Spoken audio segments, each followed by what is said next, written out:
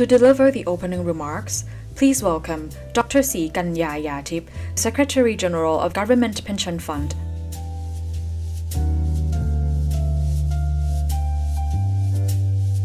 His Excellency, Mr. Arkhom Term Paisit, Minister of Finance, Mrs. Gita Sabharwal, UN's Resident Coordinator in Thailand, the United Nations in Thailand, Executive from the Bank of Thailand, Executive from the Securities and Exchange Commission, Stock Exchange of Thailand, Kasikorn Bank Public Company Limited, institutional investor, member of the banking sectors, distinguished guests, ladies and gentlemen.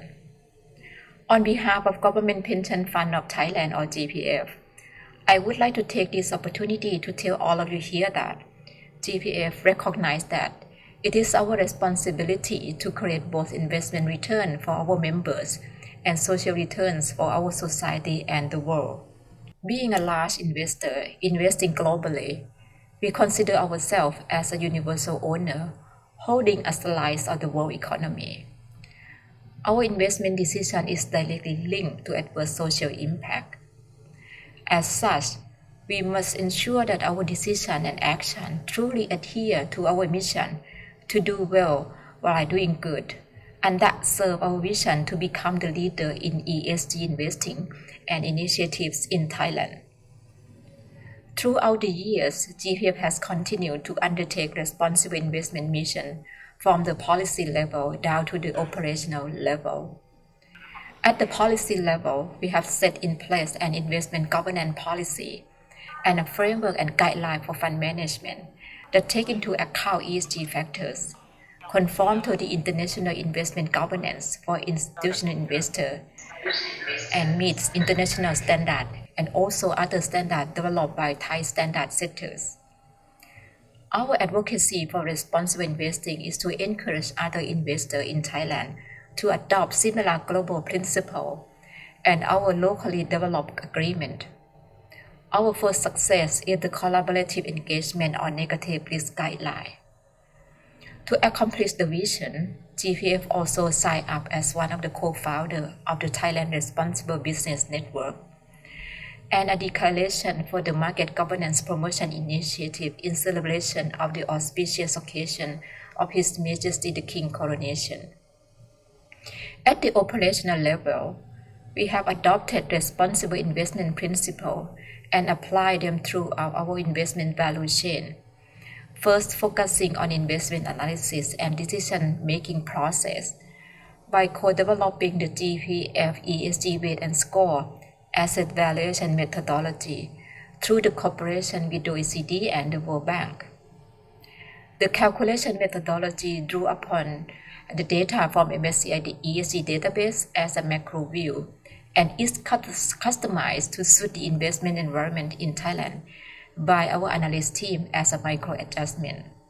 The methodology is being used in evaluating and selecting domestic fixed income and equity.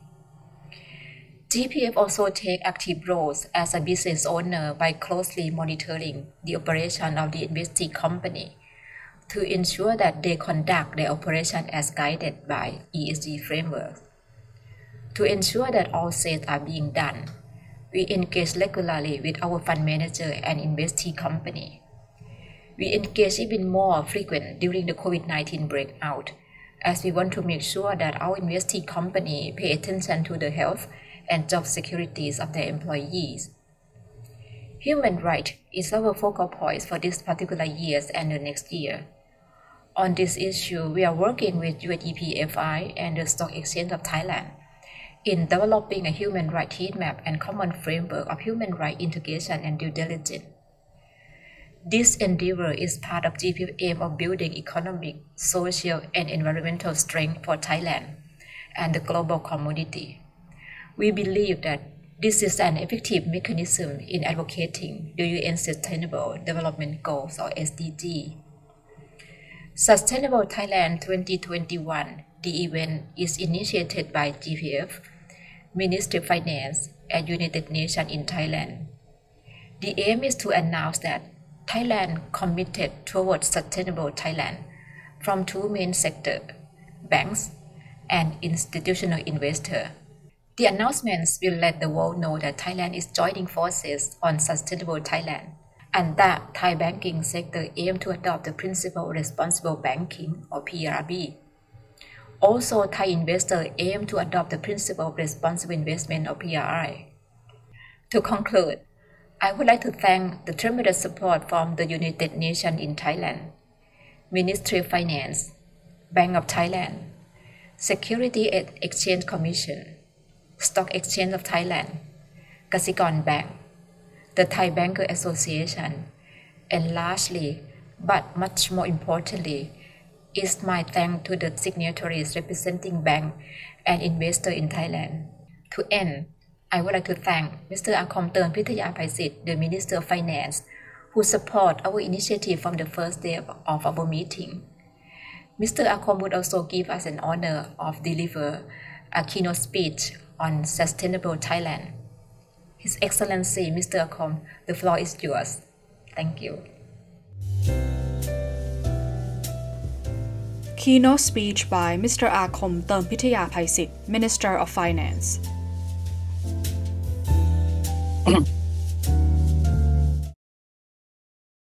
Thank you very much, um, uh, Kun Gita Sabharwal, uh, UN Resident Coordinator in Thailand, Governor of Bank Thailand, Secretary General of Securities and Exchange Commission in Thailand, Kun Ruenvadee, Uttar President of the Stock Exchange of Thailand, Kun Khattiya, Chief Executive Officer Kasikorn Thai Bank, uh, Dr. Srikanya, Secretary General of the GPF, distinguished guests, ladies and gentlemen.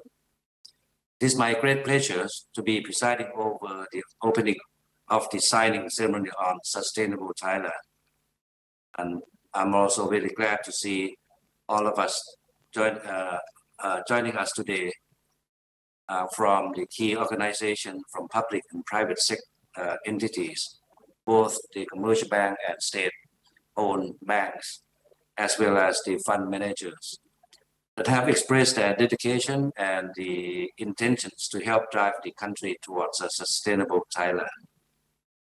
The topic today is very timely, particularly in time with the uh, we are tackling uh, we are tackling the COVID-19 as well as we are talking about where we are going in the next few years for the post-COVID. Uh, post-COVID the national, the 13 national economic and social development plan will be also launched very soon. That will give the guideline for the country. For the Ministry of Finance, we have always been building a sustainable and resilient economy through various fiscal policies in short and long terms, including in time of economic turmoil hit by COVID-19 pandemic.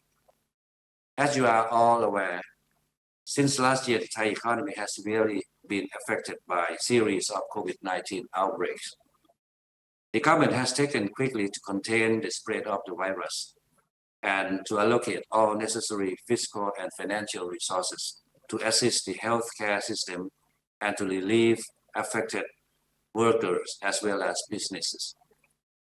Many government support programs, including co-payment and Shop More, Get More, or co-payment, a particular co-payment 50 50, to name a few, have also conducted to sustain the level of domestic consumption. The supports will continue to the future growth prospect of Thai economy. As announced by the Ministry of Finance, we still believe that uh, by 2020, uh, 2021, our economic growth will be at the level of the 1.3 percent this is quite optimistic in a way as compared to the private sectors. But for next year, we will keep our momentum for the 4 to 5% economic growth for the next year. Distinguished guests, as we continue to tackling, tack, tackle the COVID-19 pandemic to strive towards economic growth, the government has also put in place by laying foundation for Thailand's sustainable growth. Looking forward, the government will accelerate the effort and revitalize the Thai economy after the pandemic through three measures in the short term. First, providing full support to medical staff to combat COVID-19, both curation and vaccination. Second, income compensation for those have been affected by COVID-19, both people and businesses. And third, revitalization of economic activities to secure source of income and using more fiscal policy to issuing two emergency royal decrees on borrowing to finance the economic cost caused by the pandemic. Distinguished guests, for medium and to long-term recovery, the collaboration between the public and private sector is required, and there are six key aspects that I would like to touch upon. First, the promotion of biocircular green economy model or BCG model that we have been talking, some of the speaker has already mentioned. This economic model will focus on creating high value products from the biological resources, considering reusing various of materials as much as possible and economic development that is environmentally friendly. The government has taken some measures such as the issuance of green, social and sustainability bond and the promotion of investment in electrical uh, vehicles. In particular, the government has set up the National Committee on electrical on electric uh, vehicles to save the energy and environment. The target is set for 2030 as well. Second, economic restructuring towards new industries by accelerating investment in large-scale infrastructure projects, as well as focusing on the investment in 12 targeted industry or the new S-curve. The investment in Eastern Economic Corridor, or EEC, which will be the new engines of growth, will enhance Thailand's competitiveness and improve the productivity of the economy. Third, digital economy is another key to increasing Thailand's competitiveness. Both private and public sectors must focus on digital transformation. The government is facilitating the public by introducing e-tax filing, state-owned enterprise transaction in order to re reduce costs associated with cash transaction. Fourth, creating a well-established so social safety net. All citizens will be able to receive proper social protections from various schemes, such as Social Security Fund, Provident Fund, Government Pension Fund, and of course, National Saving Funds. For National Saving Funds, the Cabinet just approved the allocation more budget for the National, Save, National Saving Funds just last week. Fifth, reducing poverty and inequality by implementing an economic policy that improve the welfare system, quality of life of the people, and enhancing the development of agricultural and rural economy. Lastly, the role of financial and capital markets is important as the tools to divert our resources to what we would like to see particular green financing in our shared vision of sustainable development. Distinguished guests, the Sustainable Thailand 2021 or 2022 project is a collaboration between government agencies, institutional investors and banks in an attempt to announce their intention to operate and achieve their businesses under the Sustainable Development Goals.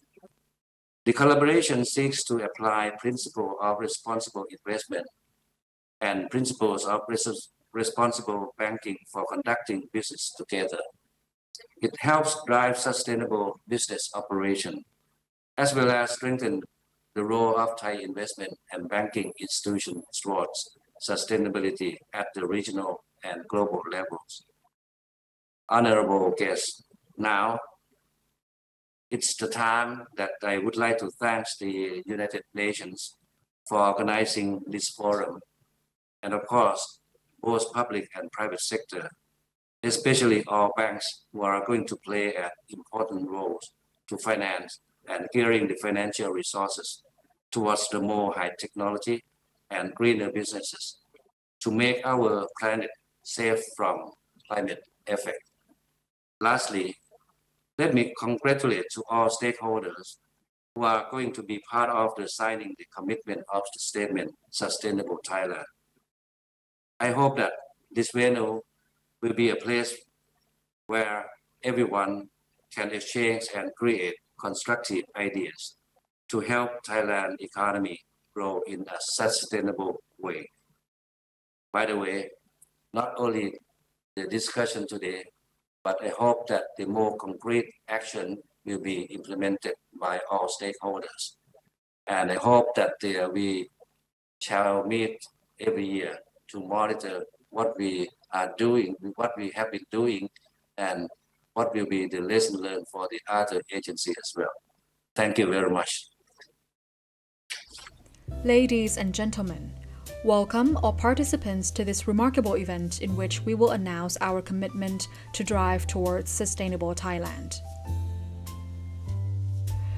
This event will be a once in a lifetime collaboration between policymakers, regulators, institutional investors, and representatives from the banking sector to adopt the principles for responsible investment and principles for responsible banking.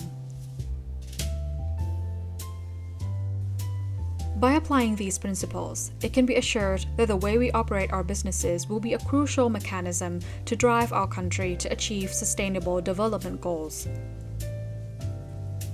In this occasion, the signing ceremony is taking place in the presence of the honorable representatives and experts who give us the honor of being here to witness this significant moment. We are joined by Mr. Arkhom Termpithaya Phaisit, Minister of Finance. Mrs. Geeta Sabharwal, UN Resident Coordinator in Thailand of the United Nations.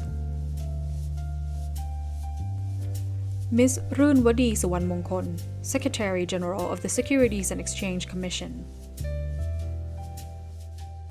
Dr. Pakorn Peetathawatchai, the President of the Stock Exchange of Thailand. As mentioned, Today, we also have the representatives from 43 organizations that have come together to declare their strong commitment in this occasion.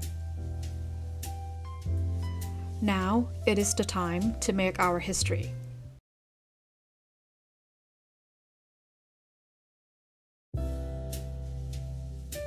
For the signatories, please sign the statement. Please hold for a moment for our photographers. Please put down your pen and look at the camera for a short while.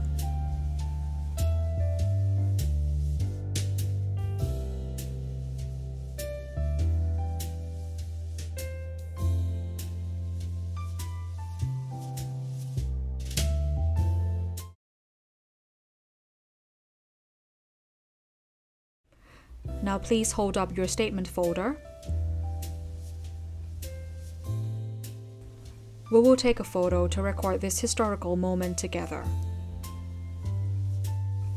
This photo will become the symbol of the significant collaboration between the institutional investors and representatives of the banking sector from the total of 43 organizations, and the asset size constitutes the value of 40.18 trillion baht.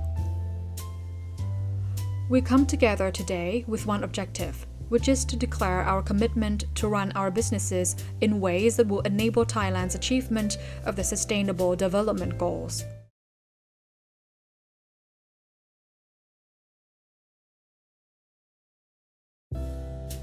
Now the ceremony is successfully completed. Thank you all for your participation. This marks a historical moment for us and our country. Please stay tuned for the next session as we have more interesting topics for you to explore on sustainable investing and banking.